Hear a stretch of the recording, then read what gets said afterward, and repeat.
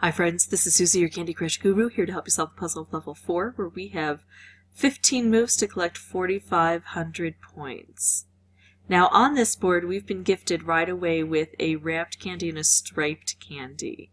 And they want us to see how these explode together. And let me give you a little bit of advice on this, and I've shown you in a different level already.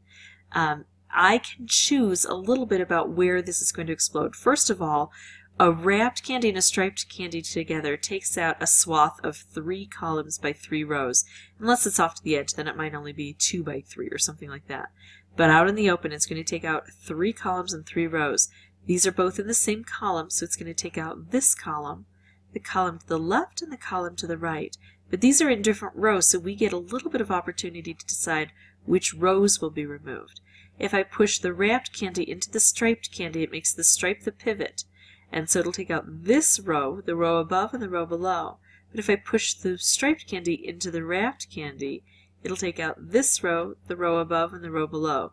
Now I could play around and make some other moves too before I make this, but these are both red and it's very likely that another red might fall into place and strike these and then they blow up individually and without us being able to use them as a combo. So if you've got a combo you really want to use, don't hesitate to use it. Don't go, oh, I'm just going to do this move over here first.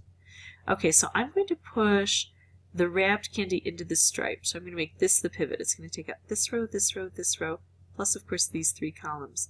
And if you need to clear out a big space on the board, that's a wonderful way to do it. Or even if you just want to kind of change what's happening. So we got another wrapped candy created just divinely. That will often happen. And there's a cascade, which is nice. Let's see. I'm going to try to set up these yellow. Oh, no, the yellow didn't work together.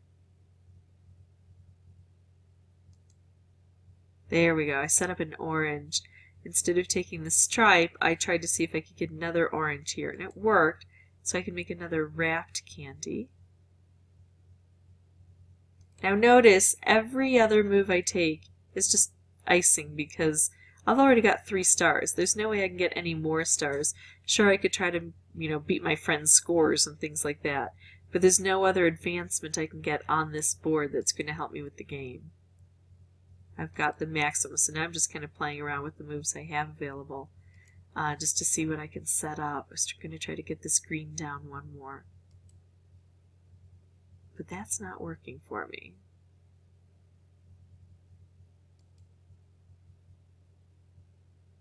Nope, not going to work. But that's okay because we saw what we needed to on this level, which was how to combine a striped candy and a wrapped candy. And then let's just see the wrapped candy explode on its own. It takes out a nice area of 9 and then another 9. Oh, and we can make a color bomb.